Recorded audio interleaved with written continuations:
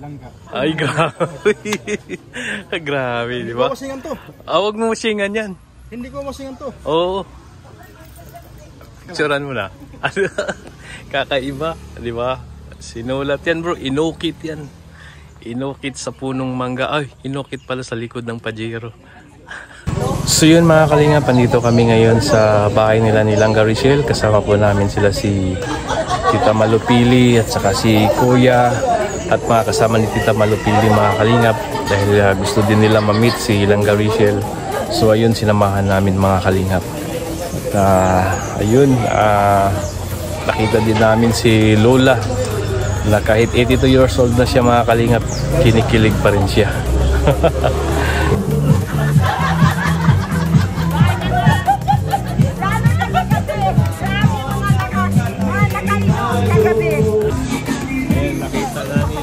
malo.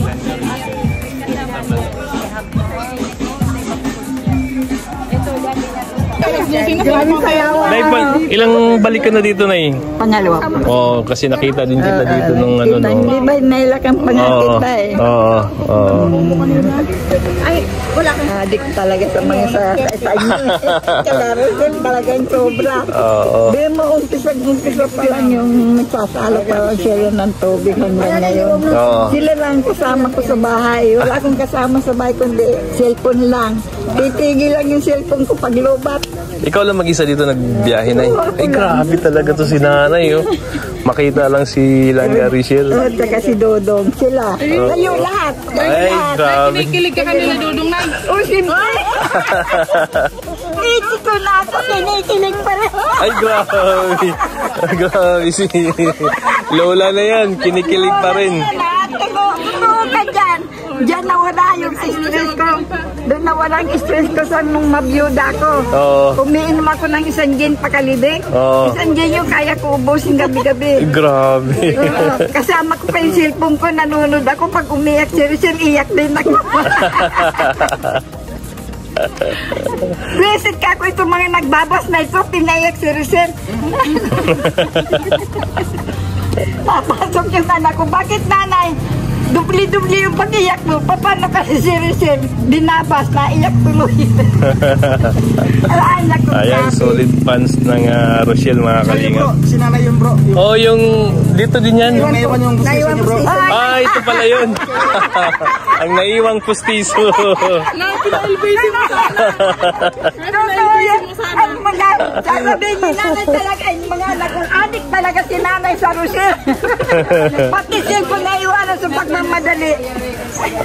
Buti hindi nalunok yung pustiso, naiwan lang. Ang masaklap niya bro. Buti di, nagtanong yung mga anak niya. Oh. Kung nagtanong yung anak niya kung saan ang pustiso, nasa Bicol na iwan. Balik ka doon nanay. Mahirap yun. Paano nagmamadali kasi siya? Pagmamadali. Hindi. Kasi pag tanghali, napasok yung mga apo ko sa bahay ng tanghali. Sabi ko, matulog kayo at bubuksan ko ang aircon. Gaya-gaya ka kay Toto. Bubuksan ko ang aircon para Oo. matulog kayo. Aka nakatulog, nalungkat nila ito. Oo. Nandito ang ngipin ko, ang pandikit na dito. Oo. Nakuha nila yung ngipin ko, yung kustis, ay yung din.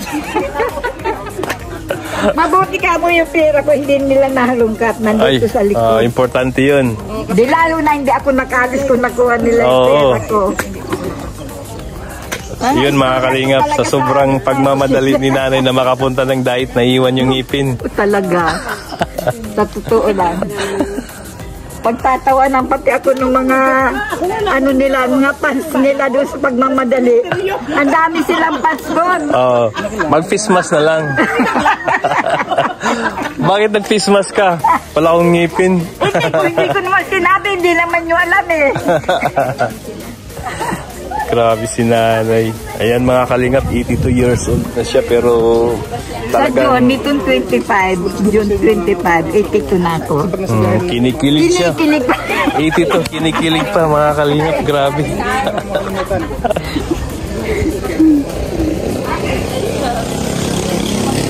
Anay, malapit na yung ano, malapit na uh, yung ah, Dibo Nilangga.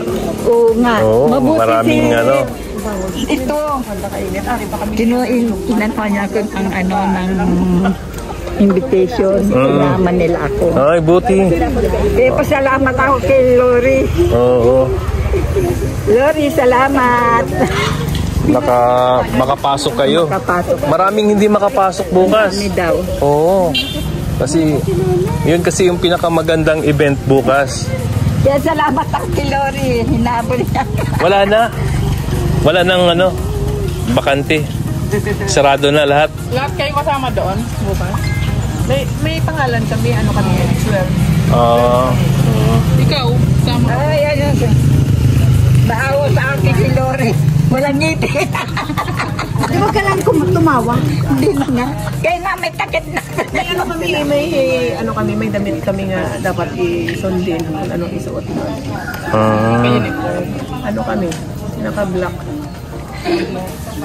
Natatawag na sa inyo. din. Kinikinto ko kagabi kay ano, kay Alex. Hindi sabi mo, masuot ka ng Ito yung moment bro eh. Ito yung moment na nakitas natin na makakalimutan. Oo. Kasi nga yung ano, nakwento ko sa iyo na ano, ah, kapitbahay namin doon sa Bagungbong. Iniwan niya yung ano, yung meat shop niya. Hinabol niya ako. Uy, ito yung si Kalingap Victor. Hindi niya alam na kapitbahay pala kami. Oo. Iniwan niya yung ano, dala-dala pa niya yung lumpia na ibibenta. Sinundan ako doon sa tricyclean, pabalik na ako ng ano, ng dahil. Tuwang-tuwa siya na nakilala Ay, lalo na ngayon yan kasi mapunta tayo Oo, lalo na yung pag... Sabi ko, pupunta sa May 2 yung ano, yung... Nalito talaga ako sa kaluukan. Sumba niya. Palagay ko. Sa South... Kaluukan sa Baguio. Kaluukan doon. Saan banda? Ano ba monumento? Ah, doon banda sa monumento. Iba yun.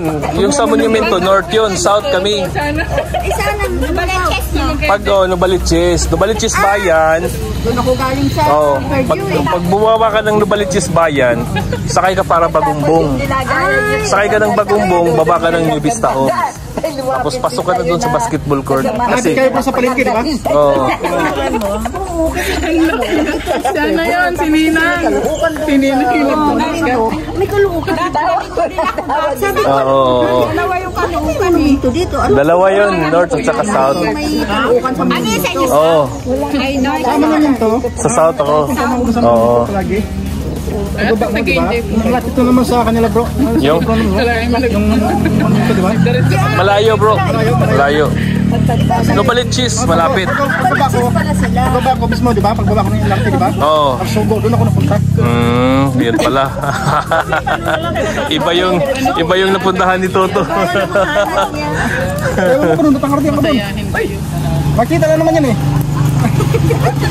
Hindi, pag napunta ko ng Mabangga, yun Oo. talaga yung sakayan din monumento.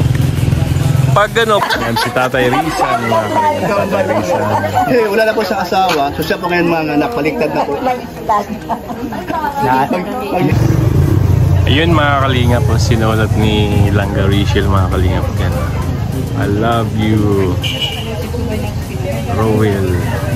Tapos Langga. You know? Yun yung mga kalingap. I love you. Yan, Ro. Sinulat niya, ano, sinulat ni Langga Rachel mga kalingap. Nakita ko siya kanina, nagsulat-sulat siya dyan. To, sinulat ni Langga Rachel to. oh. I love you, Roel. Langga. Ay, grabe. grabe, di Hindi ko ba? wasingan to. Ah, huwag mo masingan yan. Hindi ko wasingan to. Oo. Picturean mo na. Kakaiba, di ba? Sinulat yan bro, inukit yan.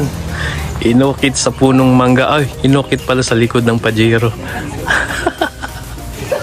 so yun mga kalingap. So, ayun na. so yun mga kalingap, hindi pa dumating yung lahat ng mga bisita ni ano ni Rochelle. Mamayang gabi po, may darating pa. So dito po tayo ngayon sa bahay nila ni ah, Langga Rachel. Yan kasama po natin yung ah, mga bisita ni Langga. At ah, ayun mga kalingap, no? Huwag po natin kalimutan suportahan si Kuya Bal Santos Matubang, Kalingap Rob, at Ibnas Vlog. Ah, suportahan po natin yung advocacy ni Kuya Bal mga kalingap. At syempre si Dudong Rowell, suportahan din natin yung ah, mga upload videos, live premiere, At syempre sa mga staff ni Dodong Royal, si Dong Alex Librada, Kuya Regan, John Rivera Official, BG Kim, Justin, Alpi TV, at syempre ang inyong host si Kalinga Victor. At ah, ayan, ah, maraming maraming salamat din sa mga sponsor.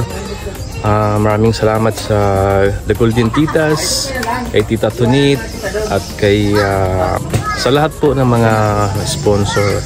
Maraming maraming salamat po sa inyo. At ah, shout out din sa lahat ng ah, Team Rochelle. Hindi ko na maisa-isa dahil sa sobrang dami po. Kaya ano, ah, maraming maraming salamat po sa inyong suporta. At ah, mag-ingat po kayo palagi. God bless po, mabuhay po kayo.